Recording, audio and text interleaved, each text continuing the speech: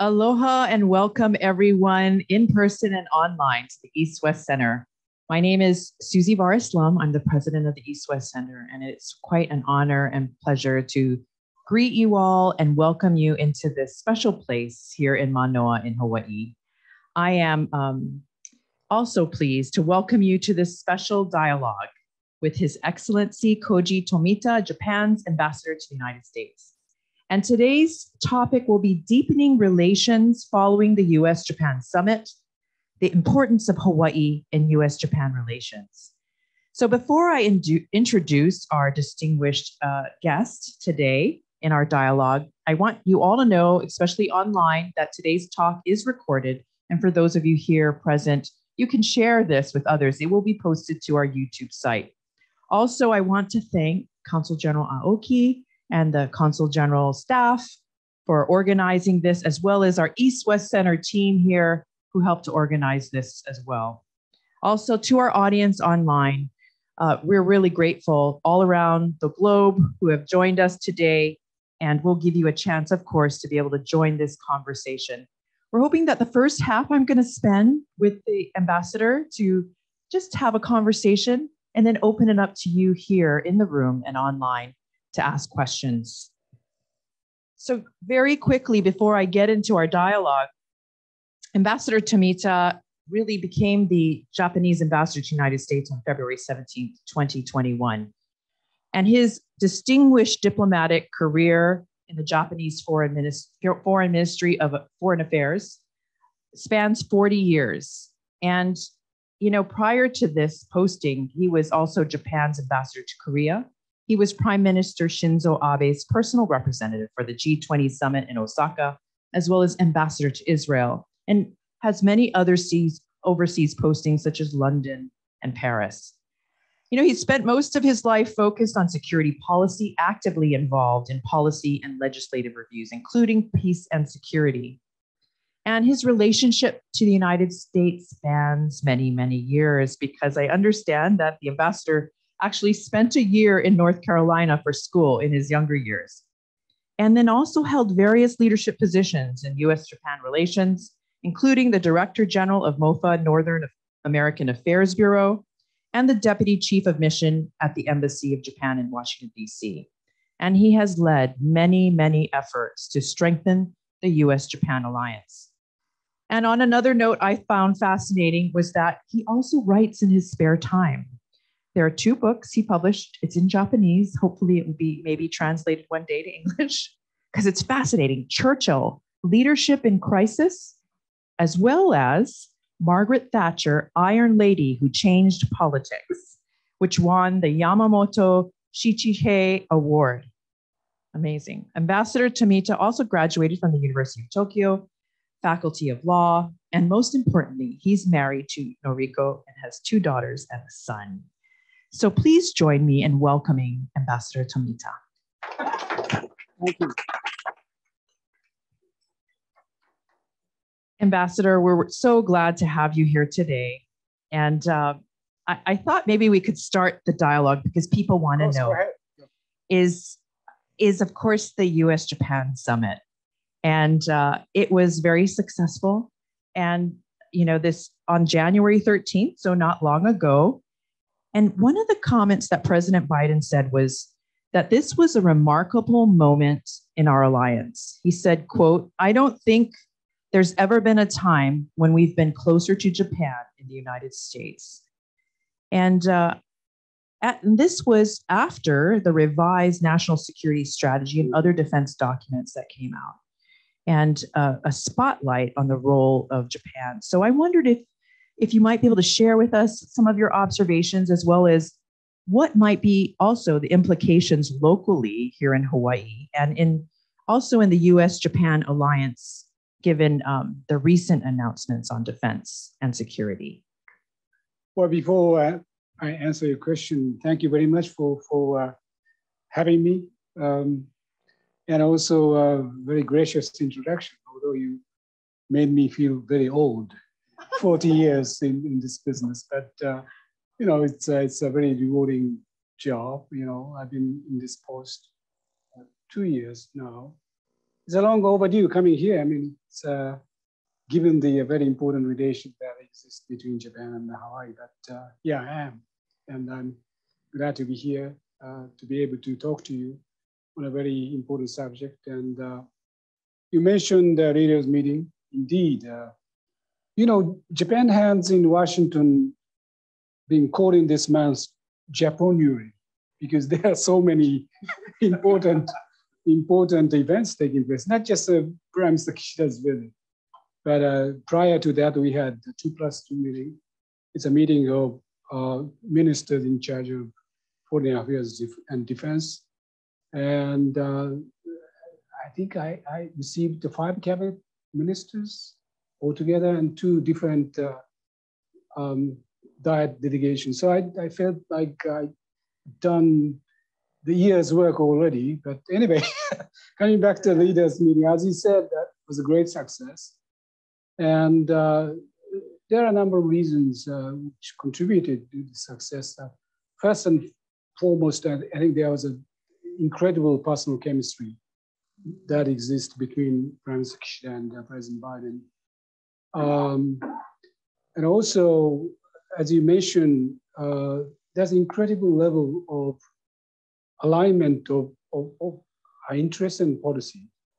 And actually, uh, in addition to the comment made by President Biden, mentioned there's a during the uh, two plus two meeting, Tony Blinken said he he's he's never seen um, such close alignment of policies that exist between any two countries.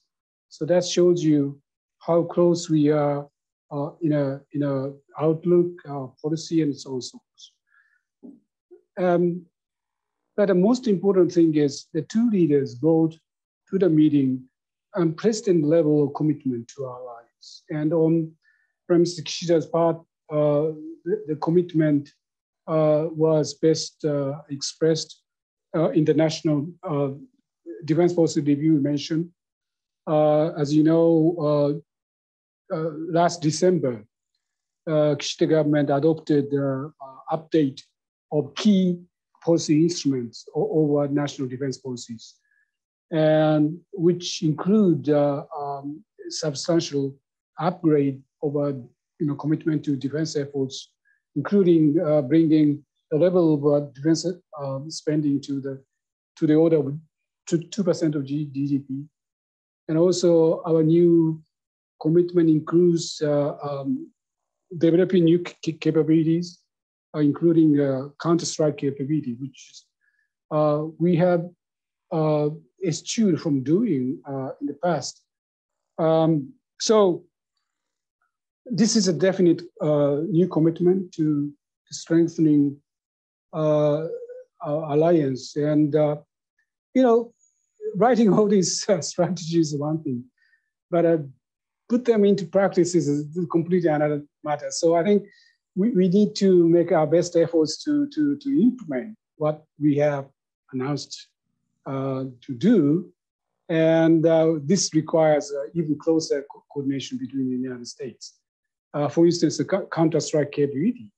It's not just question procuring new missiles, but you, you have to acquire the capacity to, to operate uh, the, new system effectively.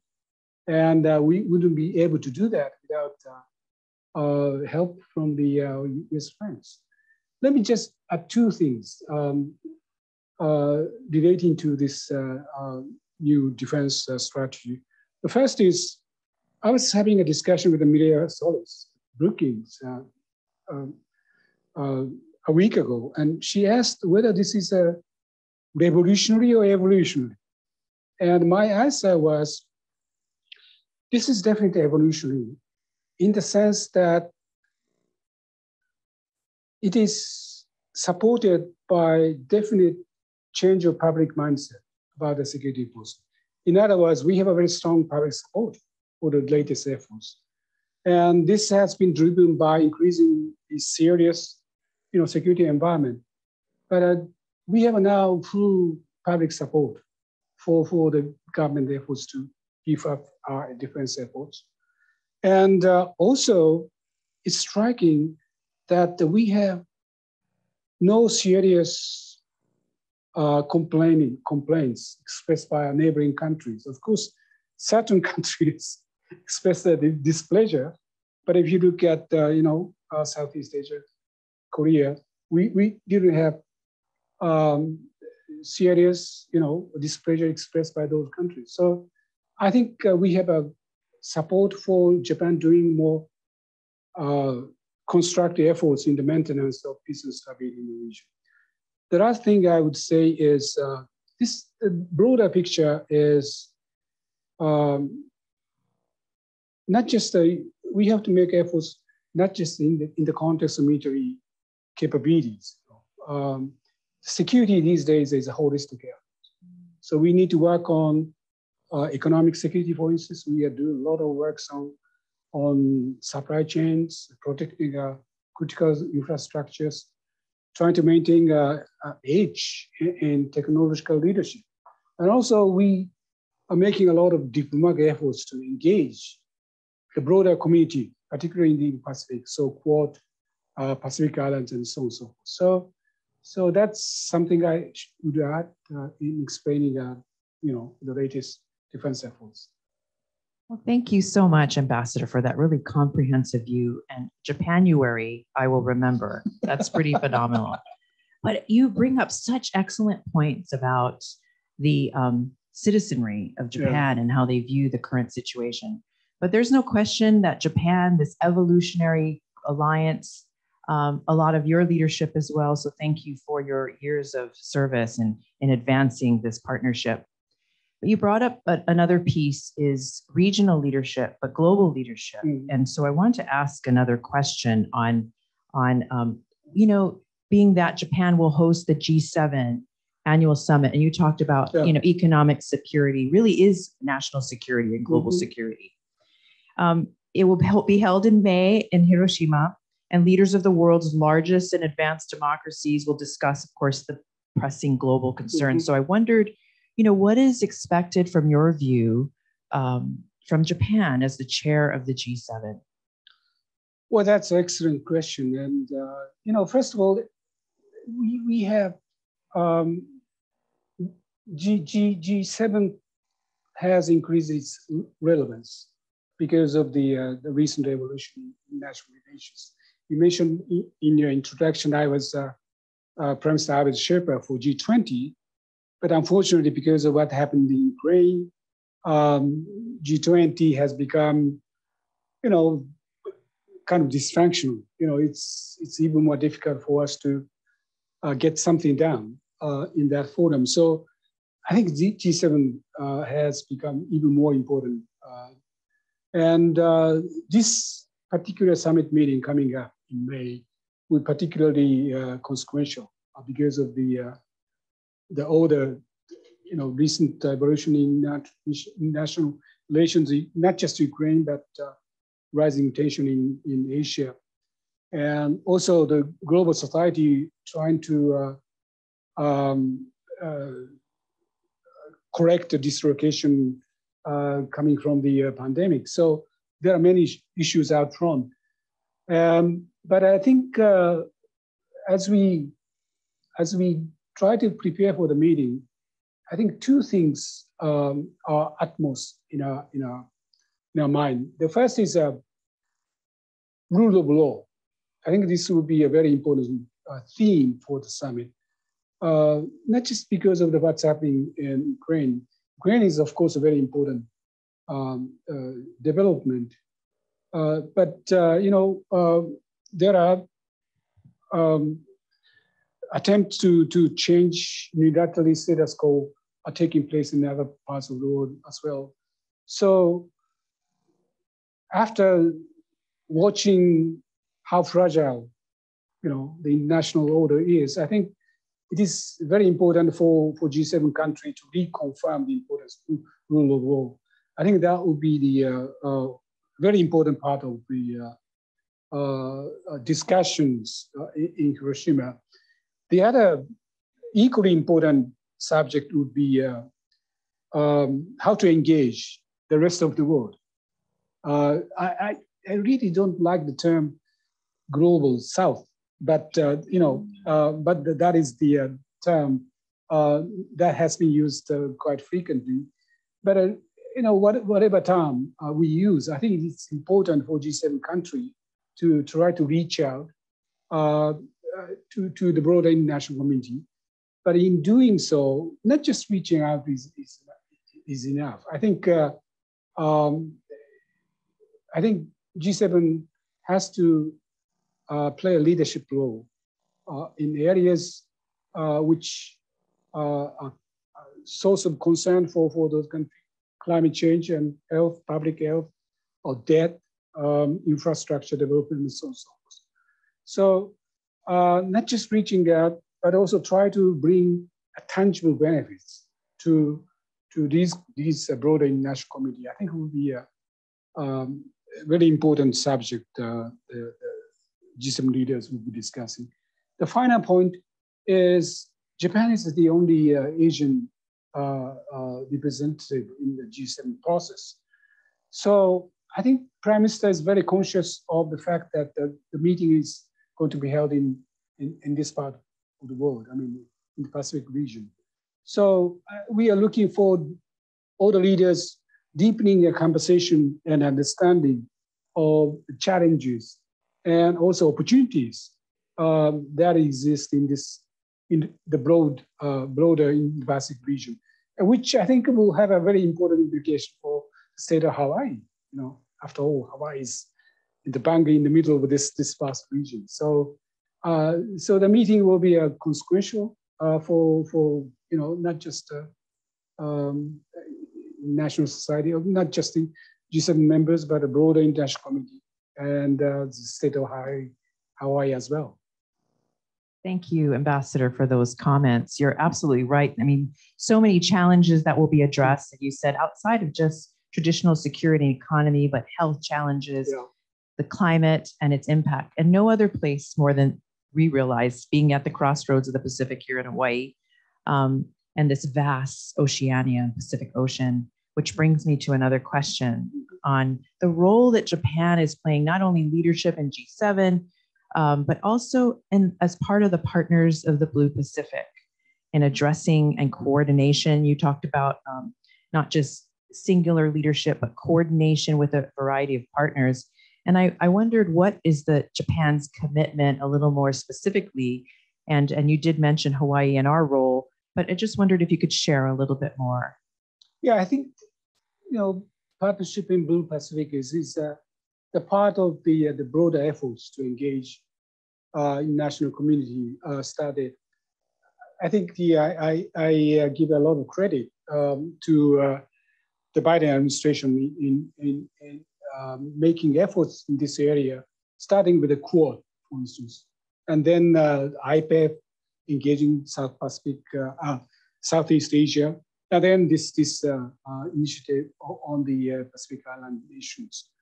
And, you know, Blue Pacific, across the, the forum itself, I think we are starting several modest projects, you know, humanitarian disaster relief, climate change, and so on and so forth. And no doubt, I think the, uh, the we are going to uh, um, expand our cooperation through this process. But uh, the same time, this, this particular forum is, I, I see more sort of as a, as a process, you know, all the countries participating uh, in this process, you know, Japan, the US, Australia, New Zealand, or some other European partners, they have, they all have unique, you know, ties, unique historical connection with the, uh, the, uh, the islands, because the island countries are so diverse. And uh, by doing so, I think uh, each member can bring its own expertise, unique expertise and experience. And so that we can have a synergy in supporting um, the island's efforts to resolve all these uh, um, exist various challenges, I mean, including climate change and other. And uh, I think Japan um, has been one of the biggest donors uh, in this region. And we have a lot of experience in engaging the highest level of government. We have a process called PALM, you know, leaders meeting process. So I think uh, um, we could uh, uh uh, make a useful contributions uh, as we try to develop synergy among the contributions made by all these members. Thank you for that. And thank you for your role in leadership in the Pacific. And so, getting a little more specific, you said they're all unique, just like Hawaii is very unique, sitting at the crossroads of the Pacific. so, I'd like to uh, bring our next question a little bit more to Hawaii. You know, what can Hawaii and the broader US expect from Japan in terms of, you know, education here in Hawaii? East West Center, as you know, really yeah. was founded that first 1960 when Eisenhower signed the authorization of the East West Center. We had many uh, students from Japan who came here to the East West Center and became those leaders that we saw early on in Japan. Um, so just wondered in terms of what does it look like in terms of supporting education uh, students from Japan. Um, you know, here, 27.3% of Hawaii's international students are Japanese students, and 31.1 million dollars are invested in Hawaii as a result of Japanese students before pre-COVID. So uh, just wondered if you could share what, what does the prospects look like for Hawaii in terms of educational exchange? Well, I start with a you know broader picture. You know, um,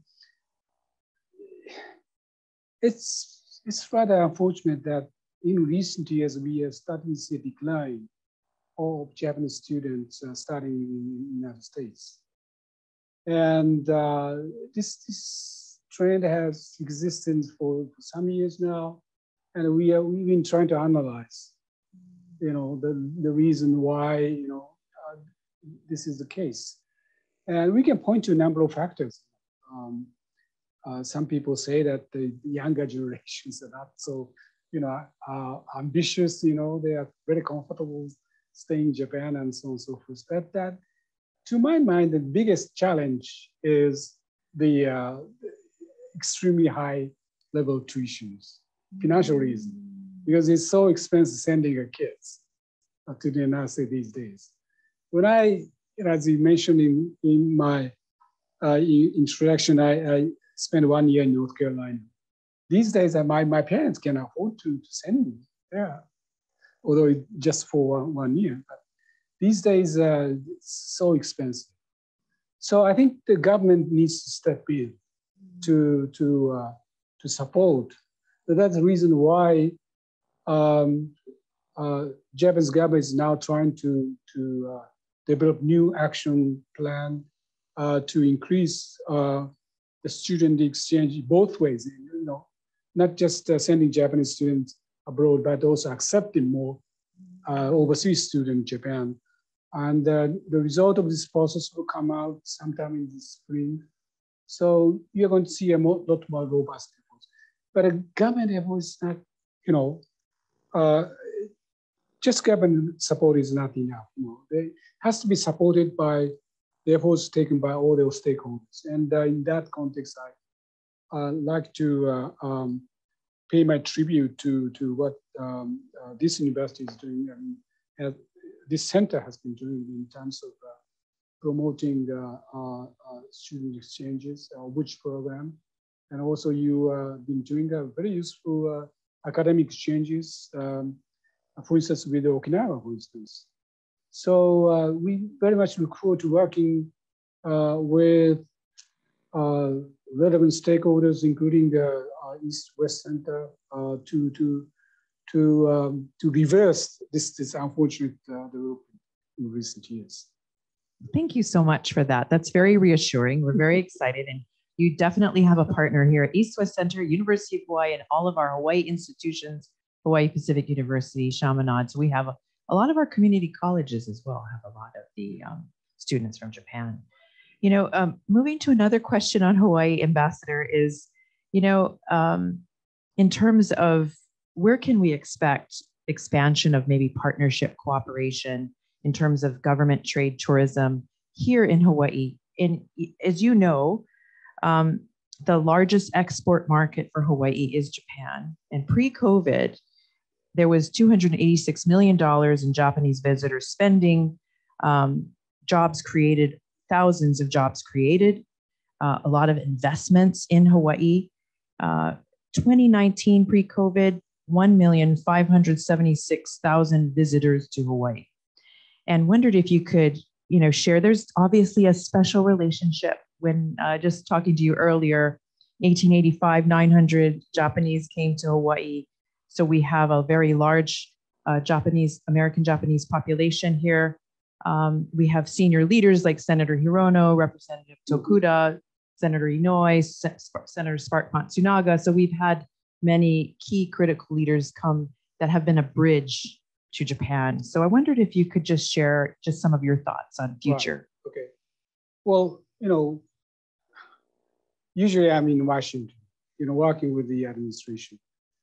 But uh, I'm fully aware that uh, what is driving a bilateral relation is not, you know, the small discussion taking place in Washington. It's uh, exchanges taking place in all over the United States. You know, uh, that's the reason why I try to go out of Washington as much as possible to to see firsthand, you know, what's happening. Uh, so I, I visit uh, the state, and each state has distinct uh, feature in terms of exchanges. For instance, I visit when I visit the Midwest states like Indiana, Tennessee, there are huge Japanese investment in manufacturing, in automaking, and so on and so forth. California, different, you know, uh, traditional, historical, uh, and and Hawaii is pretty unique. I mean, as you mentioned, the historical connection, geographical proximity, and uh, you know, uh, so I think this is something we can work on. Uh, the solid foundation this is a great asset. You know, we, we can we can uh, uh, build on uh, as we look, look toward the future of our collaboration. You know, and, and um, just had a lunch with the Governor Green, and we had a very useful conversation. And uh, uh, you know, first and foremost, I think our priority is to to rebuild the tourist uh, relations. As you mentioned, there's a very sharp decline uh, of Japanese tourists coming here because of COVID. And the problem has been compounded by the, uh, the exchange rate issue. You know, it's very expensive for Japanese car, tourists come to, to the United States. So, and um, um, so I, I think uh, uh, rebuilding uh, traditional uh, tourist relation, I think, should come as our first priority. But there are other areas I think we, we can work on. I think Governor Green mentioned uh, his uh, very strong focus on clean energy, for instance. Uh, and he's advocating uh, promoting uh, collaboration, for instance, in the area of hydrogen, for instance.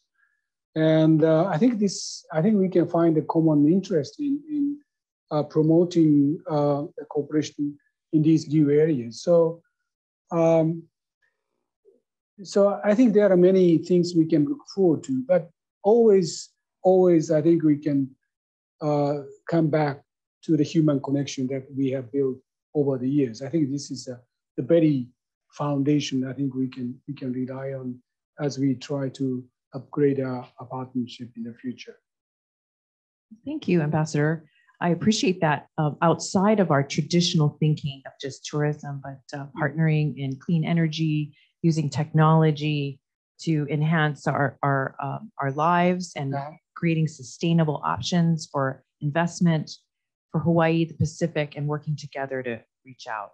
So, thank you so much for for this time. I I wanna, if you're okay, if we transition to offering to the audience because it's not every day we have the Japanese ambassador to the United States here in Hawaii. so we're so fortunate to have you here. Yeah. We'd like to um, uh, go ahead and ask um, if you don't mind for our audience here, we have a podium that, that's um, that we're going to move up here so that you can be on screen as well. And if you're okay with it, if you feel comfortable, uh, if you could come and say your name and who you are, and uh, that way our audience online can see you as well. Um, and maybe our former previous president of the East West Center, Dr. Richard Vuylsteke, also professor at the Asia Pacific Center for Security Studies. Uh, over to you. Thank you, Chairman Ashford. Thank you very much for your candid. I think that, is it on? Is that light on? Yeah, there you go. Try again. Okay. Your Excellency, thank you again for your candid comments and insightful as well. You mentioned earlier on economics and supply chain dynamics, Mhm. and both uh, Japan and the United States are reevaluating their uh, supply chain connections, in particular to China, and looking at uh, diversifying location. Do you see opportunities for cooperation between the United States and Japan on, on diversifying uh, supply chains together, not only to the United States, for example, but also maybe working together in Southeast Asia and elsewhere? Yes, I think uh, there's, uh, I think, great potential uh, in working together on the uh, the question of supply chains. I think supply chains can be discussed in a number of contexts. You know, for instance, the context of pandemic. You know, uh, we come to realize how fragile our industrial base for some some product that can be critical in certain situation. So um, uh, developing the resilience in these areas one thing. And the other context is, as I mentioned, uh, uh, is, is in the context of strategic competition with, with China.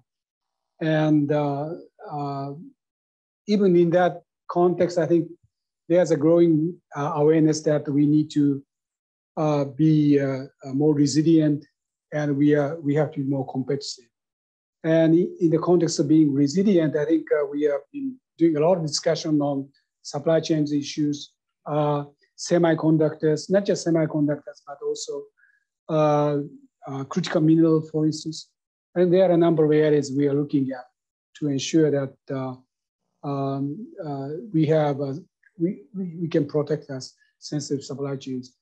But the supply chain question is a, is a big challenge because uh, you know it's it's not something the government can alone uh, can can can uh, implement because uh, of course in the area of export control, for instance, I think government can impose certain restrictions.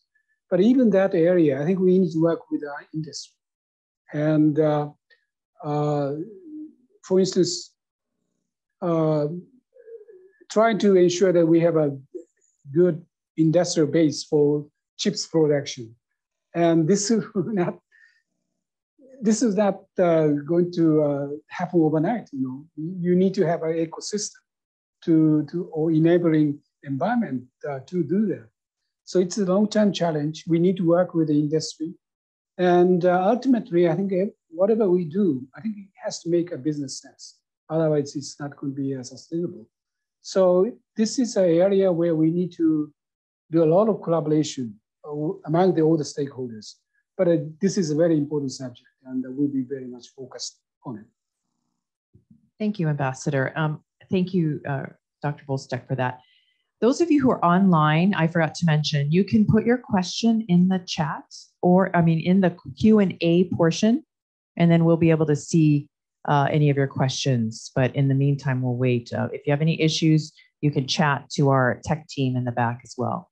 So we'll take more questions here. So feel free if you're if you're worried about having to come to the podium, I'm happy to bring you this microphone to you.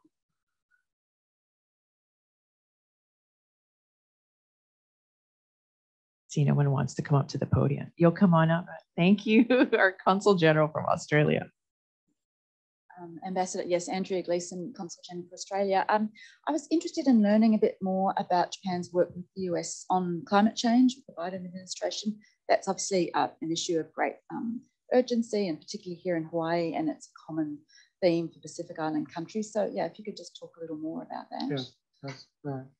Well, um, first of all, we we we we uh, share a common interest in in uh, fighting uh, this this uh, one of the most serious challenge uh, challenges facing the humankind. So um, we have been working uh, very closely on a number of fronts, you know, uh, uh in national cooperation, setting a target and so on and so forth. Uh, but uh, the areas we've been focused on, one area is the technology. And I think when uh, Prime Suga visited uh, um, Washington last year, we, we started a sort of you know, partnership program uh, specifically designed to promote uh, um, climate technology. Uh, so we, we've been trying to um, do a number of areas like hydrogen, uh, you know, uh, uh, other areas as well. And, but at the same time, when, you know, Ukraine, uh, uh, Russia invaded Ukraine, um, there's an increased uh, concern about energy security. So I think uh, um, that has led to certain shift in our mindset. So nowadays, I think we, we feel it necessary to not just focusing on the climate change, but also how to ensure energy security as we make these efforts. So uh, in our discussions uh, with the United States, we're not just talking about uh, climate technology, but also energy cooperation as well. So um, we, uh, uh, for instance, uh, discussing the possibility of U.S. expanding its production of natural gas, for instance, which is a very important source of energy for transition period. And also, we are also looking at uh, advanced nuclear technology as well, because uh, it's a very important part of the solution for a country like Japan, you know, with a very uh, uh, little national endowment for, for resources, and also very sharp decline of, you know, public confidence in nuclear energy after Fukushima incident. So um, coming up with a new and safer nuclear technology is a very important part of our efforts to address uh, the challenge of climate change. So uh, I think we have a very diverse interest in, in, in, in tackling um, all the ramifications of climate change. And we have a very strong focus on this area in our bilateral cooperation. Thank you, Ambassador. Thank you, uh, Consul General. How about other questions in the audience? We, I see somebody, please. Thank you. I'm Carlos Juarez here at the East West Center thank you for your remarks. I, I wonder if you could elaborate a little bit more from your experience of, on what I would, what we call subnational diplomacy. Increasingly, we see states and cities carrying on a lot more, you know, what would traditionally be diplomatic efforts. Uh, you spoke about uh, visiting maybe places like Tennessee, Indiana. All these places are connected to Japan, of course. But what I guess, uh, you know, any reflections, but also I see it, there's opportunities, but I see challenges, whether it's from your own staffing, how to deal with this, or you're dealing with a lot of different, just more players. Uh, so any reflections on this? Uh, the State Department, you may know, has recently appointed a new special envoy for subnational diplomacy, which is an effort to look at this. So any reflections on that? Well, as I said, I mean, it's um, the United States is a diverse country. You know, it's it's, it's just working in Washington, and Washington is a very unique place, you know. So I, as I said, I try to go out, um, try to visit states. Um, and as I said, I mean, things are happening on the ground, you know, uh, business. Uh, you know, for instance, Japan has been the largest foreign, foreign investor in this country and creating a lot of jobs. And this is very important. And uh, um, particularly, you know, I've been dealing with the Japanese relations for many years, but in 1970, no, I, I joined the Foreign Service in 81, so 80s and early 90s, we had a very serious trade, trade dispute. You know, that was, you know, one of the biggest focuses over bilateral discussions. But what happened was after this, this trade friction, Japanese uh, company decided to invest here and start producing uh, you know, automobiles here in the US, creating jobs, contributing to the local economy. And that has a huge impact on, the uh, um, uh, economic you know, uh, relations. Uh, no longer we are not so concerned about you know how many uh, cars we are exporting and anything like that. So that shows you how important it is to ensure that we have uh, strong connections at, on the ground. You know, so not just business, but also uh, people to people exchange, human connections, and we talked about student exchange. I think those are very very important aspect. And um, as you as you said, I mean, it's a challenge because what's happening on the ground is is different from one place to another. So we we have to be uh, more sort of we have to uh, cater to very diverse needs existing in this country. So that uh, takes a lot of uh, um, efforts, time, and energy. But we do have 14 uh, consul general um, in, in, this country, and here in the in the state of Hawaii, I you know, we have one of the most competent uh, foreign service officer in uh, uh, Consul General Aoki. Um, so, you know, uh, being in Washington, I have uh, uh, every confidence in, in, you know, all our consular business uh, offices doing their, their best job in promoting connections um, at all level and in all, all sectors. Thank you, Ambassador, and thank you, Carlos, for that question. You know, I often think of it as very organic. There's not so much, like you said, going on, but there's so much leadership also at that subnational level and people to people relationships that are happening every day. And even on our own board of governors is uh, Takeshi Niinami, who's on our East West Center board. So Suntory CEO, part of you know connecting on a people to people, helping us look at biodiversity and to think about that uh, in different ways and impacting. So very, very exciting. So I know there's more questions out there. Not every day that you're going to have the ambassador. Please, Karen.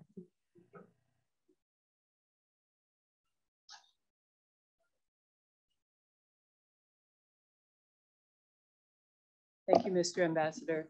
I'm Karen Knudsen. I'm adjunct fellow senior at the East West Center, but I also chair the Higher Education Committee for the Japan American Society here in Hawaii. And I was very interested in what you said about the report coming out about exchange students and in the mm-hmm. future. Will key points of that be in English by any chance? We, we, we work here trying to have local students look at Japan to go to school because it's more affordable and to make that connection.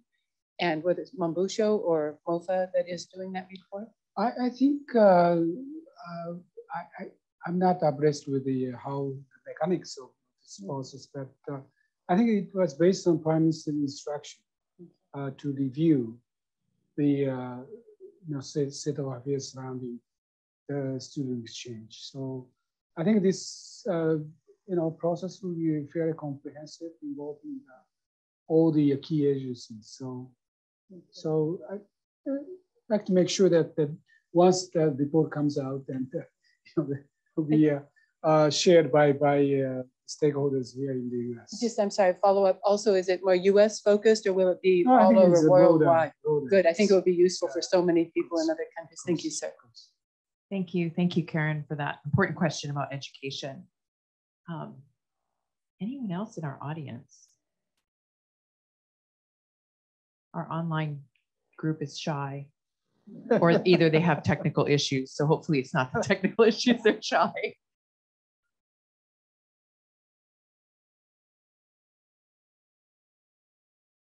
Well, Ambassador, my name is Christian Wright. I'm the Senior Diplomatic Fellow here at the East West Center from the U.S. State Department, Foreign Service Officer of 20 years. What would, uh, when, as we look forward, as we prepare our relationship with Japan in the future, what are, in your opinion, as sort of uh, looking into the future, what are the demographic changes, the generational changes, the technolo- technological changes that you think will affect uh, you know Japanese diplomacy moving forward, or or life in Japan, or the U.S.-Japanese relationship? Mm. Well, uh, in terms of a strategic challenge, I think uh, there's no doubt that uh, you know how to respond to the uh, challenge posed for China will be the biggest uh, um, uh, agenda. I think uh, Japan and the United States uh, will share in, in years to come. And uh, um, but at the same time, I mean, we, we know that, that this is going to be a very complex undertaking. You know, uh, of course, uh, uh, we are concerned about the quite substantial and rapid buildup of uh, Chinese military capabilities, and you know, we, we cannot accept certain aspects of their behavior. But at the same time, we are fully aware that um, China uh, is, a, after all, the second largest economy in the world, deeply integrated into the global economy. And they have a capacity as well as responsibility to contribute resolution of some of the, the main challenges facing our, our human humankind, including climate change. So we need to work uh, with, the, with, the, with Chinese friends in tackling these issues. And also, uh, we need to ensure stability in our relations. You know, after all, the relationship between number one economy in the world and number two economy in the world matters for the global society. And so does the relationship between number two economy in the world and number three economy in the world. So I think Japan and the United States share the responsibility to, to ensure certain stability um, in our relations with China. So, so I, I mentioned the, you know, three or four objectives and balancing all these uh, uh, objectives uh, in, a, in a daily efforts uh, is going to be a challenge. Um, but that's the reason why we we need to uh, um, uh, ensure that we have a very close alignment of our, our, our, our policies uh, vis-a-vis -vis China. But apart from that, I think uh, Japan and the United States, uh, uh, I think we are in a position to lead the global global efforts to, to address uh, some of the uh, biggest challenges, uh, like as I mentioned repeatedly, climate change, um, but other issues as well. so the our alliance has these days have much broader outlook than just you know protecting ourselves. Uh, it's for the uh, um, welfare of the global society as well. Uh, so uh, we always engage ourselves uh, in, a, in a very broad discussions. And um, I, I, look forward to being part of this effort uh, as, as long as I serve as ambassador. Thank you, Ambassador. Any other questions? Dr. Vuylsteke has another question.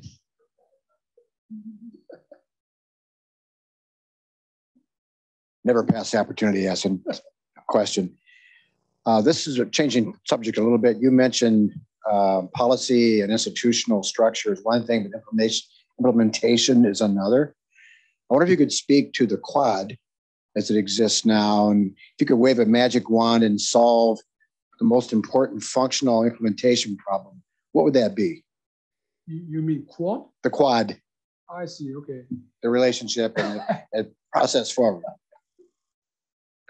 Well, I think uh, the biggest challenge is that we, we, we, we, we don't have a habit of collaboration within that, you know, the framework. Of course, uh, there has been accumulation of collaboration taking place between bilaterally, you know, between Japan and the United States, Japan and India, and so on. Collect, uh, collectively, there's no uh, uh, tradition of working together in that particular format. So uh, I think it's a challenge. Uh, so it makes sense that uh, in the context of Quad cooperation, we, we are trying to start with a practical cooperation, like a vaccination or infrastructure, things that involve the broad participation for each government.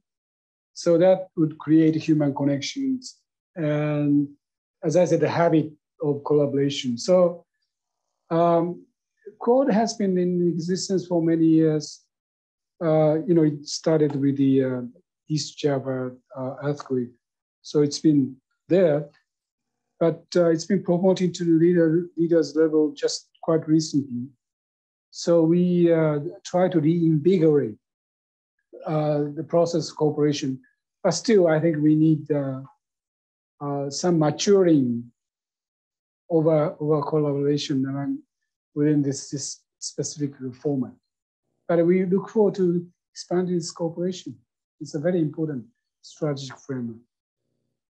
Thank you. Thank you, Ambassador. I do have an online question from Christy Govela. Um, Ambassador Tomita, also thank you for your remarks. Could you give us some insights into how, and you mentioned this earlier, trade fits into Japan's current relationship with the United States? Clearly, the domestic politics of trade in the US make trade liberalization challenging. But how is Japan thinking about engaging with the US specifically on trade as it navigates its involvement with bilateral agreements, IPEF, CPTPP, RCEP, and other initiatives? I think um, one of the uh, disappointment I, I, I, uh, I, felt when I came to uh, um, this country as ambassador two years ago is there's so much um, distrust uh, about trade. You know, trade has become a dirty word. Um, and there's a reason, I, I, can see the reason why trade has become such a toxic uh, um, uh, uh, concept uh, for mind of many, many Americans. So I can, I can relate to that. But at the same time, um, you know, I, I talked about our security or strategic competition these concepts are holistic, you know, not just the military, but economic uh, as well. And trade is a very important part of, of this, this, uh, this, this framework. So I think uh, it's important for the United States to be in the position, in the position of leadership in, in promotion of trade and investment in the fast growing area in the world. So of course, our uh, hope is the United States decides to come back to T CPTPP, but I, I'm, I'm realistic enough uh, to, to uh, accept that this is not going to happen anytime soon. But IPEF, uh, of course, is very important um, because substance in itself is a very important subject, like uh, digital trade but also um, it's important in terms of strategic symbolism that United States continues to, to, to engage uh, vision through the uh, investment. And also in terms of substance, um, we are going to discuss the issues like uh, um, labor and the environment. This is a very important subject. Um, I, I, was talking about, you know, trade becoming a toxic uh, in the US politics. And uh, attention on the issues like labor and environment are, are part of this region. So deepening conversation among the uh, IPEF members on issues like labor and investment uh, environment, I think it's a very important uh, efforts to, to build a foundation on which the next level of US involvement, uh, in the region can be uh, contemplated. So I think, uh, of course, we, we very much hope that um, US coming back, US will come back to CPT. But there are other things we, we need to do um, to before this this uh, for the time being unlikely event will, will come to uh, come to uh, materialize. Well, thank you. Thank you, Ambassador. We're coming up to our time right now. And uh, I, I want to just maybe ask you one last question myself mm-hmm. on uh, being here in Hawaii and having traveled across the United States. Um, maybe you could just, on a light-hearted note, what about the United States, Hawaii, that you uh, that that you find special in this connection with Japan, just personally? Personally, like many other Japanese, uh, the first time I, I, came here, I was on honeymoon. uh, except that the honeymoon wasn't really honeymoon because uh, when I got married, I was working in the minister's office. So I just couldn't get away. And uh, so when I, when I came to Hawaii for rather belated honeymoon, uh, my, my first kid was born. So uh, three of us coming to stay. But I decided to do a you know honeymoon anyway because I realized that without honeymoon, I, I my wife would be uh, nagging me for the rest of my life. So uh, that's the reason why I came here. That I, you know, as soon as I came here, I appreciate um, what a what a wonderful place um, this place is. Then I start working um, more seriously about uh, security relations and so on and so forth. So come to uh, uh, realize how strategically important um, this place is. I mean, Hawaii is strategically important. Uh, my in terms of my relations with my, my wife, but uh, um, but uh, you know uh, this is very important part of you know our partnership with this country. And as I said, I, you know, after two years of my arrival, it's, it's uh, long overdue, but I'm glad that uh, I'm here finally, and I'm enjoying myself tremendously, including this wonderful event. Thank you so much, Ambassador. We're so grateful that you could spend time, answer a variety, a whole range of questions. Uh, very, very insightful. And we're so pleased that our East West Center office in Washington, D.C., that you will be there for the Japan Matters for America rollout on February 7th, where you know Senator Hirono will be speaking, as well as a message from our, our US ambassador to Japan, Rahm Emanuel, to talk about the importance of why we matter for each other in terms of trade, uh, exchange, sister cities, job creation.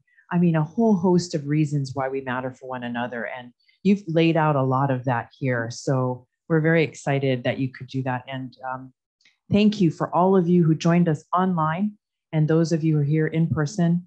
Uh, we again will have this on the YouTube for you to share with others because this was a really special day to have you here. Uh, the relationship is deep and there's so many more possibilities now that you've been here. So thank you so much. So please join me in a round of applause to thank the ambassador. Thank you very much. Thank